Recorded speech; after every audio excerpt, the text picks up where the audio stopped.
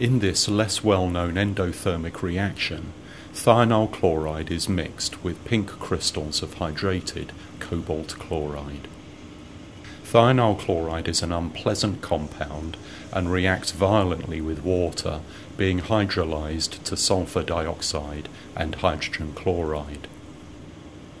In this reaction, the water is contained within the crystals of the cobalt chloride.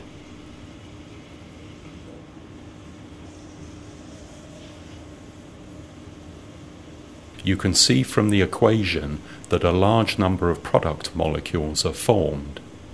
This reaction therefore proceeds with a large increase in entropy and consequently this is accompanied by a significant drop in temperature.